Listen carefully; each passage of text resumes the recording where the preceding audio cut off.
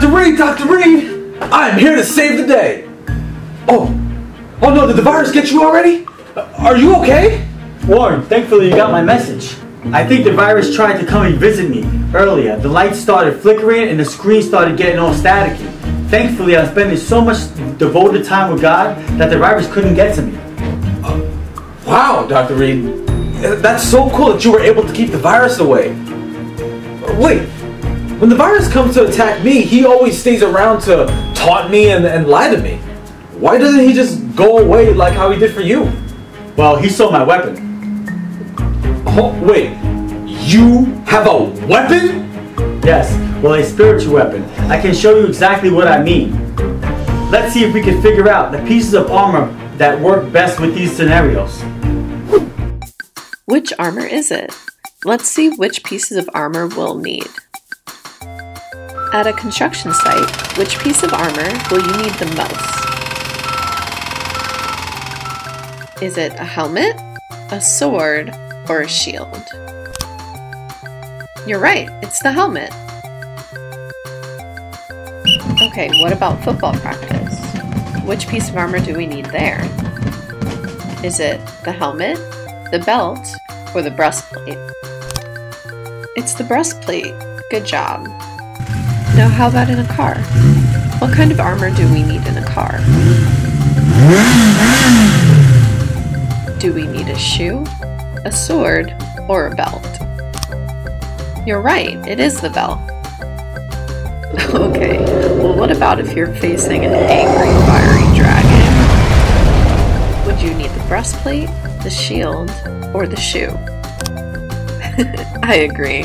I would want the shield too. Great job, you guys. You figured them all out. You really know your armor. Here it is. The sword of the spirit. I keep it with the knives in the kitchen drawer because it's so sharp. It's safer there. Whoa! No, oh, no, no, no. How about you don't touch this one yet? It's very sharp and we can be very dangerous. You'll have to learn exactly how to use it before I let you hold it. Oh. Got it. Okay. How'd you get it so sharp anyway? Well, Warren, the sword of the spirit is the word of God. Hebrews 4:12 says that the word of God is quick and powerful and sharper than any double-edged sword. I don't have to do anything to make to make it more powerful.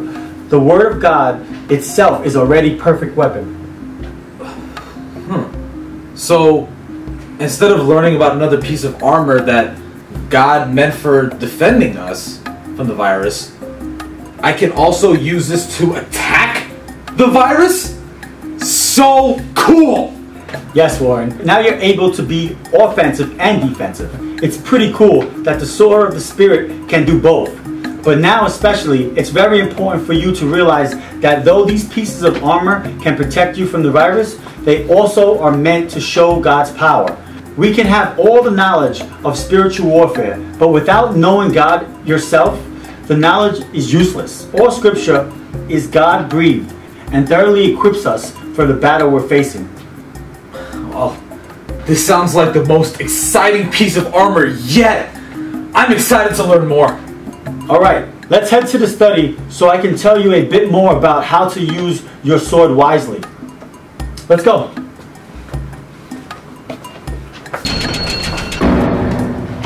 Wow, I cannot wait to hold that sword. I'm so excited. Quick, Dr. Reed, tell me everything I need to know. Haha, please, remember this is a very serious weapon. It has the ability to defend you and offend the virus. We must take our time to learn all about it. Yeah, you're right.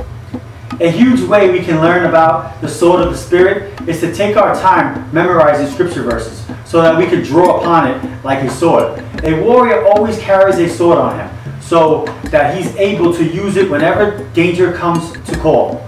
He always prepares with scripture on his mind and ready to fight in the battle. Well, I guess it's a good thing I haven't touched that sword yet. A true warrior knows how to properly defend himself. Exactly. As a warrior, you must always be prepared and aware that you are in a battle in every moment. You must always be on defense. Remember that the virus visited me and he didn't even bother to stick around. That's because I know how important it is to always be on guard.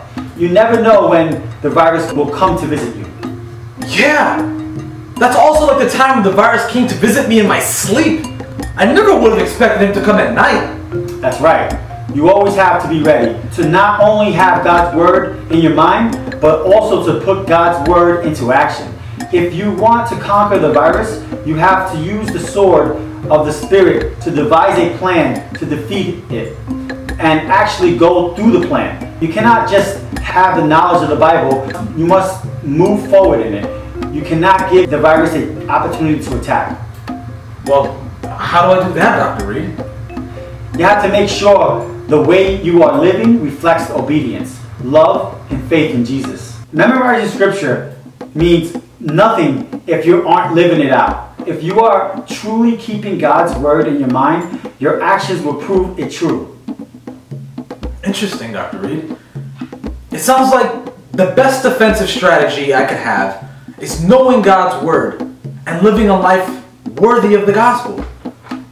I'm so glad I've been memorizing all these scriptures on the armor of God these past few weeks. I think it's helping me truly understand the power of the sword of the Spirit. It certainly is making you a wiser and more prepared warrior. So, does this mean I'm ready to hold the sword of the Spirit? Not just yet. I think we should call a weathered warrior so we are able to learn a bit more. Okay, that sounds good.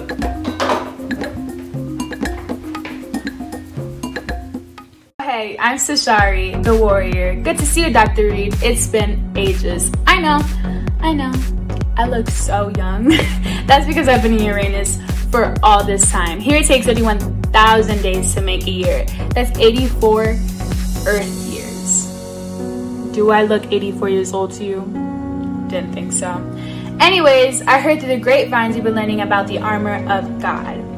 If my calculations are correct, we should probably be learning about the sword of the spirit right about now. Yes? I'm very happy to tell you that I'm a lover of this topic. The Bible is God's very word after all. We should love it and use it appropriately in our lives.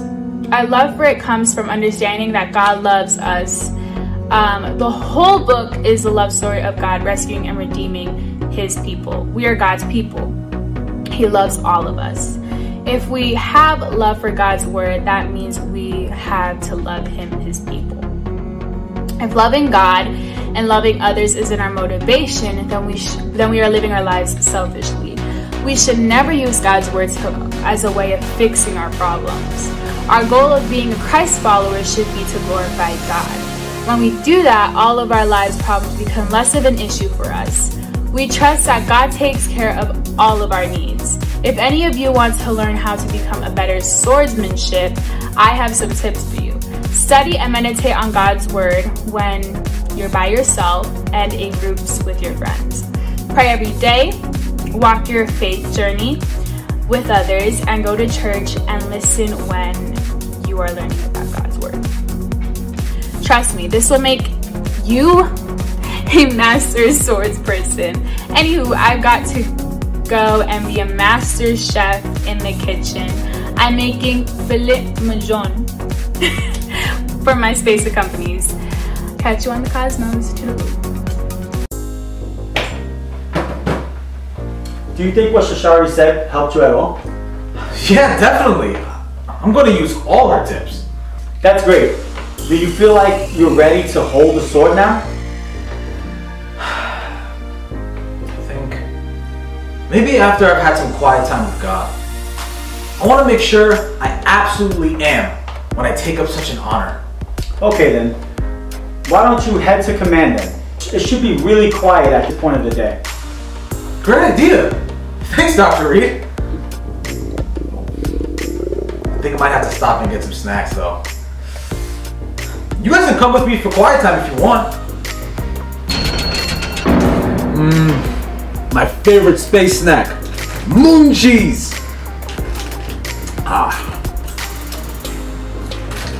I'm almost done here, and then we can head to command. It's actually pretty quiet in here. Wow. You know, even this butter knife is pretty dangerous. I can't imagine holding something as powerful as God's Word. I could definitely hurt people if I used it wrong, and I don't want to do that. As much as I want to wield the sword for myself, I want to know when and how I should use it. I need wisdom and discernment to properly have such a weapon.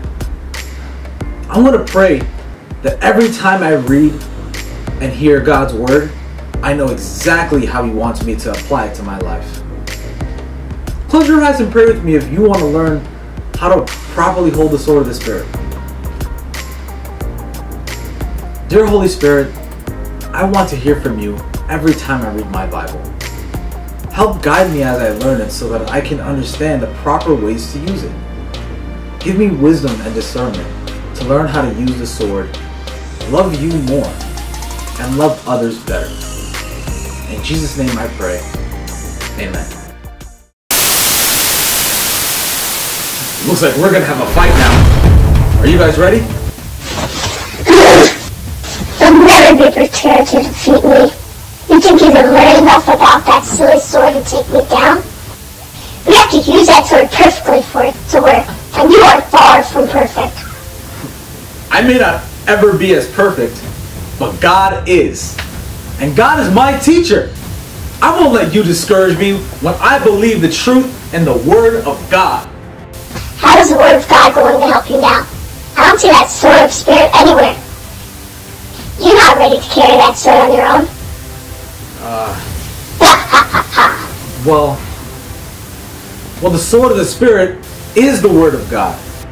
I don't need that physical weapon here for me to know that God's words are true. I've been spending lots of time with God and memorizing scripture. A good warrior always keeps his sword on him. 2 Timothy 3:16 says, "All scripture is God-breathed and is used for teaching, rebuking, correcting, and training in righteousness." You're learning the word and even memorizing. We're only spending time with God because you are so scared of me and what I can do to you.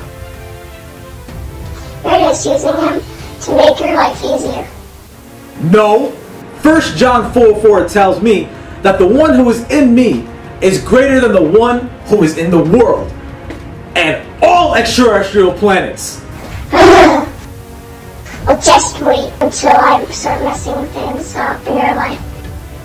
You're not going to be so trusting in your word then? Not true. It's during those messy times that I can say I have a relationship with God. And Romans 5 3 says that suffering produces perseverance. The more I trust God's word during these challenging times, the better of a warrior I become in these kinds of battles. I may not win every battle, but God wins my war.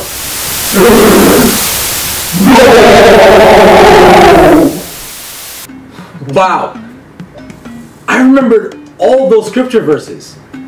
I knew that praying would help me wield my sword. The, the sword of the Spirit. How did this get here? When I prayed and read my Bible all those times, I must have been preparing to carry this. I had no idea. I had been prepared this whole time and I didn't even know it. I was just spending time with God because I love Him.